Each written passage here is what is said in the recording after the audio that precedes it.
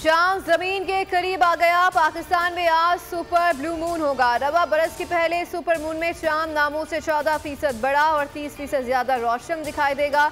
इस पार्कों के मुताबिक आज रात ग्यारह बजकर छब्बीस मिनट पर सुपर ब्लू मून को देखा जा सकेगा।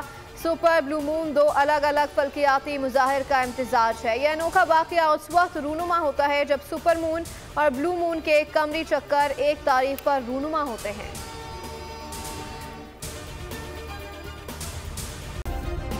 सब्सक्राइब करें और बेल दबाएँ ताकि कोई खबर रह न जाए।